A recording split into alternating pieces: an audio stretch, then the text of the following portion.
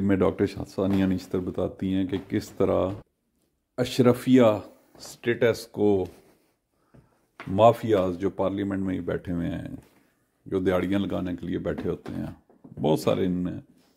उन्हें किस तरह इमरान खान के एहसास प्रोग्राम में इन्होंने इन्होंने किस तरह उसे हराया, किस तरह उन्हें केटर किया, जो अपने फंड चाहते हैं, स्वाब दीदी फंड चाहते हैं, ज़रा सुनिए।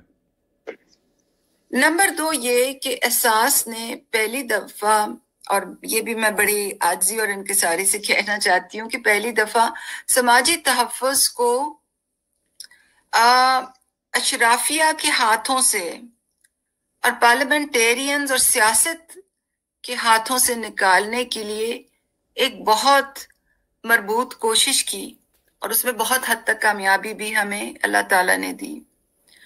आ, आपने देखा जब कोविड की ऑपरेशन हमने रन की तो बहुत ज़्यादा मुखालफत थी। पार्लियामेंटेरियंस की बहुत ज़्यादा मुखालफत आई कि जी नहीं जैसे पहले आफात आती थी और पैसे दिए जाते थे कि पार्लियामेंटेरियंस को दिए जाते थे वो अपनी कंस्टिट्यूंसी में जाके बांटते थे हम वैसे ही करें।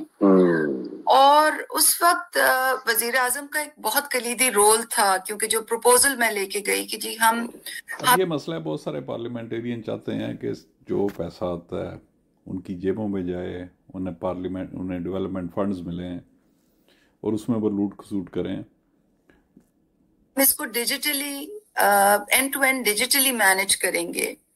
हम आ, लोगों के सी एन आई सीज एक S M S short code पर लाएँगे आ, मंगवाएँगे फिर उसको डेटा एनालिटिक्स से रन करेंगे और फिर लोग इसमें मसला ये है कि अगर पार्लियामेंटेरियंस में जो लोग बैठे हुए हैं खाने पीने के लिए तो इस तरह लीकेज बंद हो जाए उनकी दिहाड़ियाँ बंद हो जाएँ तो बहुत सारे लोग जो पैसा बनाने आते हैं पाकिस्तान की पार्लियामेंट्स में वो पार्लियामेंट छोड़ जाएँ और पाकिस्तान का सिस्टम बहुत बेहतर हो जाए। जिधर आर्मी रिफॉर्म्स की ज़रूरत है जुडिशल रिफॉर्म्स की ज़रूरत है। इस चीज़ के रिफॉर्म्स की भी ज़रूरत है कि पार्लियामेंटेरियन सिर्फ़ लॉ मेकिंग करें, सिर्फ़ लेजिस्लाइजेशन करें। उन्हें फ़ंड बिल्कुल नहीं दिए जाने चाहिए। ये उनका काम नहीं है नालियाँ बनाना, सड़कें बनाना, पुल बनाना, लोगों को नौकरियाँ लगवाना और अपनी मर्ज़ी के अफसरान को लगाना एस एस पीज़ को लगाना आई जीज़ को लगाना। और फिर उन्हें इस्तेमाल करना। ये भी बहुत सारा ये लोग करते हैं अनफॉर्चुनेटली इनमें बहुत से अच्छे भी हैं, मगर बहुत सारे ये लोग करते हैं।